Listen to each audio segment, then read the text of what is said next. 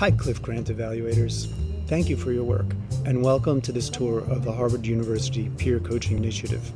My name is Mark Rauterbush. I'm the project lead, and you'll see the faces of other team members, including a few new additions. Peer coaching at its core is listening practice. So let's start with some listening. That's the great Sonny Rollins. Showing that music is not just about making sound. It's also about making room for others, like uh, the great pianist Tommy Flanagan.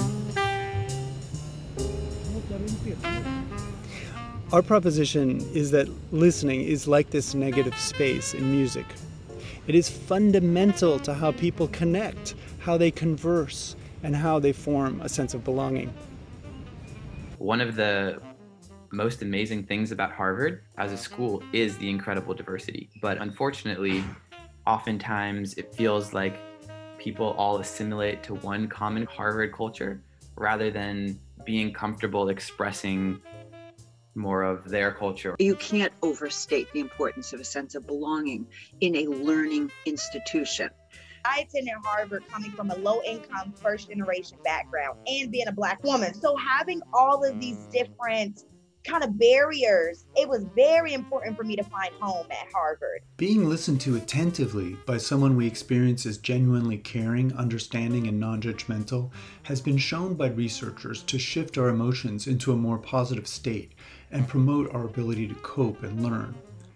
Each participant in the peer coaching initiative learns to provide such a space so their partner can safely reflect on and digest their experience.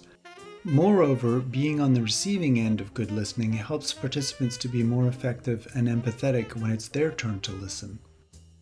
Participants are also equipped with a map and other supports, and if they meet the standards of engagement, are acknowledged with a skills certificate. Part of the reason that we have such a large team for this project is that faculty and students from across the university are seeing the development of listening skills as a priority. I asked them on a scale of 1 to 5 to what degree would a practice that helps students meet adaptive growth challenges and build their listening skills be relevant and worth prioritizing for the students that you're familiar with. So on a scale of one to five, I would say a five. My answer to that is certainly a five. The answer to this I'd say five. I'd say clearly. Five would put it right up there at five, or ten if we if, could we could go higher than five, I'd go higher than five. Let's hear some of the reasons why. Imposter syndrome is something I have battled. I think that being a part of the peer coach initiative allowed me the space to be real and to be vulnerable and to be flawed and to be human and speak with other students who were just as amazing, just as accomplished, but also going through just our own personal things. And so for me, it made me feel like, wow, these are my people. The other key piece is that when people join this group, they'll be able to see this is not a high time commitment, um, but very high value. The person who's actually speaking is also learning to listen to themselves at the very same time. anything that hones the willingness in a growth mindset to improve with time is kind of at the core of the way we think about our PhD training programs. The other thing I love about this is it gets them engaging with one another cross boundary, which is going to deepen their learning about people who are different than themselves. Mm. It's almost like the perfect soil for everything we're trying to do. We are growing vulnerable, adaptive, flexible, curious, impassioned, powerful, smart, successful leaders. I think it's exactly what we need. On behalf of the team, I want to say thank you to the Office of Diversity, Inclusion, and Belonging.